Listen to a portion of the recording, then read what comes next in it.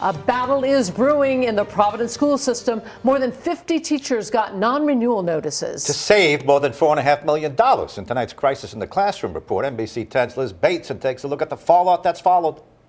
The state run school district faces a financial struggle. This is a perfect storm um, with collateral damage. As 51 teachers without tenure receive non renewal notices in Providence, that includes physical education teachers, Spanish and social studies teachers, school counselors, and social workers. It, it will still have an adverse impact on children, and that's that's who we're here to serve. The Providence School Board accuses the superintendent's office of mishandling funds, ultimately leading to these cuts. In this letter obtained by the NBC 10 I team, a Providence School Board finance chair accuses the district of misallocating federal COVID relief money.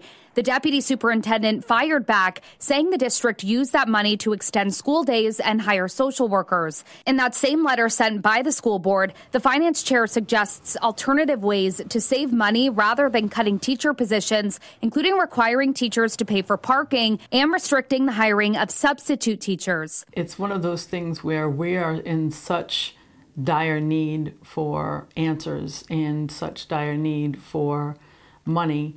Um, and to support bringing back these teachers that uh, she just put everything on the table. I spoke with one school board member who says he'd rather see the superintendent's staff take a pay cut to bring those teachers back. Our high level administrators are on a whole different scale and have received, you know, thousands of dollars in increases. I felt as if that was unethical for, you know, us giving the administration higher, you know, pay, but then the teachers were, you know, were impacting them by non renewing them. In Providence, Liz Bateson, NBC 10 News.